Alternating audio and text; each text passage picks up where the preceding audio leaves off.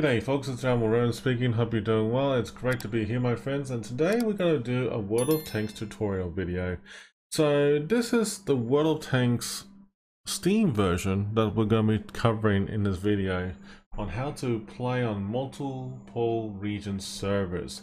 Yes, you heard it right, so basically what we're trying to do is trying to mimic what the Game Center does and the Wargaming launcher. So the Wargaming Game Center launcher looks like this. And basically, if you have downloaded, like say for example, the North American World Tanks, and you want to play on Asia in this case, like this one here. So basically I'm going to go, go click on play, and it actually spits the dummy and tells you straight up and says, no, I'm not going to do it. So basically it's saying to you that you need to actually have an existing account that supports that version of the game and basically that's how you can log in. With that being said though that what I can say is that it means and implies that if you want to install world tanks for the other regions you have to manually download each one to actually log on to it. So there's a downside of it all. Hopefully that will change in the future. So with the account merging, assuming you have already done it already, in the past 12 months, Wargaming has pushed us hard to let us know that we had to get our accounts merged and everything. And hopefully everyone has done it by now. So fingers crossed that this tutorial is to try and guide you on the right path. So what I'm going to do in this video folks is that we're going to use the Steam version of World Tanks and guide you through it. So assuming that you have downloaded and installed the Steam version of World Tanks, you're wondering what to do next, right? So I got a cool website for you all that I think that's actually very, very beneficial.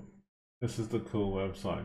So this is the website that actually gives you a bit of an insight on how to download and install and configure it in going forward. So this is actually a pretty, very handy website.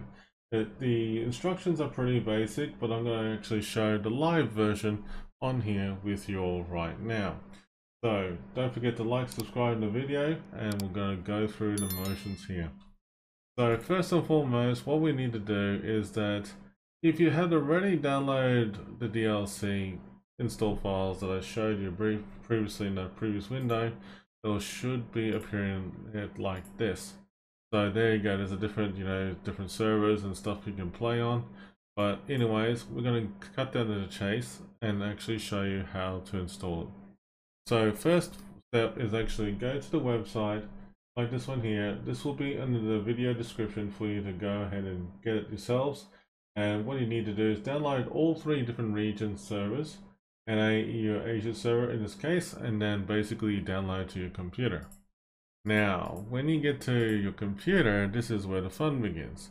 So you download to the computer and you got all three files. Okay, they're all zip files very handy, straightforward, and it makes sense. So basically what we need to do is that we need to expand it and extract all these files and they'll all have a batch file each okay now what you need to do is that you need to double click on them and it will pop up a command prompt window for a second and it will automatically install automatically on your DLC version of World Tanks. Now, each one will come up and it'll say like it's been downloaded and installed, it will configure and everything, which is great, okay? So basically, when you go to the Steam version of the game itself, what you need to do is just right click, go properties on the actual game itself, scroll down to DLC, then look in here. Now, I will stress this part is actually seems a bit more tedious than you think. So what I'm going to do is I'm going to minimize this and to avoid confusion. So what we need to do is that my main account is actually on North American server for World of Tanks that I know I do play a lot. But let's just say hypothetically on a play on World of Tanks on Asia, for example, right? So it's basically a matter of taking the tick checkbox and change it over towards Asia version. Now notice that it's actually Steam is actually getting updated right now. So basically what you need to do is let it run in motion and go for it. Now, the question I did uh, was asked about this in behind the scenes was if I had selected all three, what would happen? Well, truth to be told, you'll be actually reinstalling the game three times and for to support all three different regions. So basically, if you're wondering about that, you go right click and browse local files and here it is where it's located. So this is where the Asia server is located as well as NA and basically as you can see that the NA version is actually 72 gig and then basically Asia version is only a small amount but as you can see that this is actually being updated right now and what we need to do is just wait for it to be complete. Now, when it does get complete, getting back into this, basically it means that you'll be able to log on to the game itself. So we're going to wait for a moment here. It's not too far now. And we're about to go ahead and play the game right about now. Alright, so here we go. We click play. So here we are. Okay, so it's connecting to your Steam account. Make sure your Steam account is actually connected. And now we're going to go through the motions of getting that authenticated. Wait one second. Okay, so I have authenticated and I'm actually connecting to my account, which is Admiral Revan. And I go ahead and click OK and click OK to launch. Now this is the actual launcher that they have within the Steam version, but notice that when you click on this here, that you will be unable to play on NA and EU regions, right? So we're gonna cover that in a moment here. So when I want to launch the game, it takes a few minutes to launch the game. And then after the game has been launched, you'll be able to just play on the Asia server. So I can use Ultimate HDR uh, technology if I wanted to to enhance the graphics of the game if I want to for this gaming monitor, but we won't worry about that for this video. So I'm going to go ahead and log in and within a few minutes that you will notice that you have logged on to the Asia server account for World of Tanks and if you wanted to log on to the NA server, for example, you can't do a switch account or anything like that by going through the in-game options in here at all, or through here to begin with, right? For even like if you want to disconnect from server or anything like that. So what we need to do is that we need to go back in here and we'll need to go through the motions. So basically we'll just go ahead and go for the start right click, go properties, go to the tab called DLC, which is this one here, and then go to NA server. So when you have done that, basically that it says it's updating and you have to give it a moment for it to go through the motions. Now, if you have selected all three, it will download the game three times. Just a heads up right now for all regions. So I'm not 100% sure if it actually does, you know, triple the space between all three servers for the amount of storage and noticing that you know 72 gig is quite a fair bit so hopefully in the future that World of Tanks will have you know just one game installation for all regions and I hope it works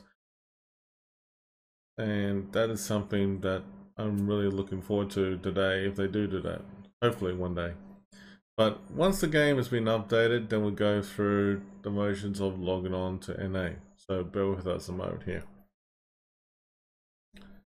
Okay guys, so basically that the game has finally been updated on the Steam version to my North American server. And now I want to play the game. So if I click on play right now, and just wait for Steam to execute. So here we go, we're going through the motions again to authenticate and we'll go through it all the steps. Now, hypothetically speaking, that once you've done it either the first time, I don't think it will need you to do this again. But anyways, as you can see, that when you go ahead and click on the changes, you'll notice that the Asia server is not available right now for me. So we'll go ahead and log on to the game as it is right now. So we'll click on play. And we'll wait for a couple minutes. And here we go. So World of Tanks is loading up on the North American server. Hopefully it has swapped over to my NA account and within a few minutes you'll be able to see everything that's on there.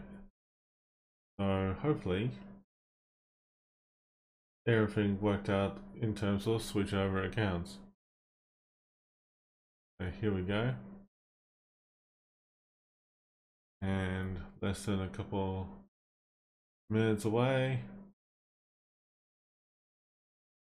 Thinking data, here we are. And voila, here we are on the North American server.